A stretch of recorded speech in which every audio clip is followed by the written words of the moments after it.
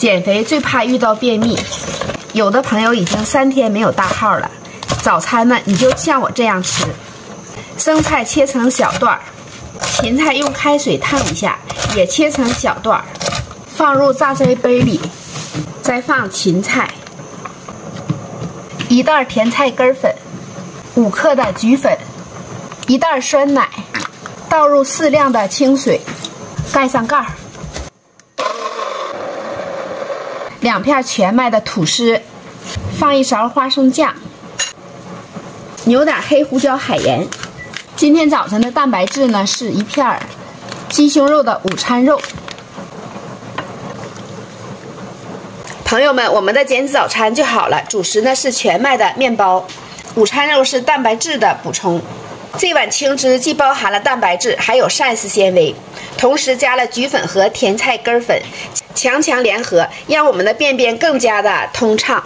好几天不上大号的朋友，一定要这样尝试一下，肯定会帮助到你的。我们午餐见，朋友们好，我是减肥博主甜心妈。昨天我的直播间里来了一位粉丝朋友，他已经三天没有大号了。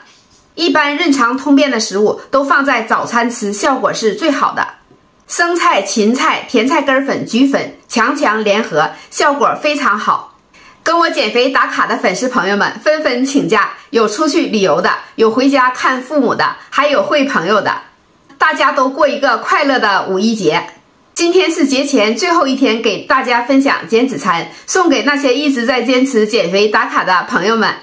五一节这几天，我会分享一些轻断食食谱，送给大餐之后需要轻断食的朋友们，你们要收藏哦。我会把上次七天减肥打卡的食谱发送在群里，有很多朋友还在坚守。看我们今天午餐和晚餐吃什么，吃的可好了，保你满意。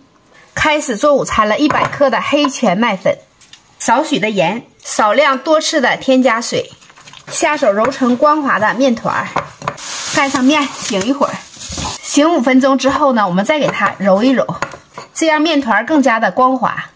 今天中午我们吃三鲜馅的水饺，跟我们平常过日子拌馅是一样的，只不过是少放点油就可以了，少放点虾皮。在飘雨的街头，雨水淋湿了我的忧愁。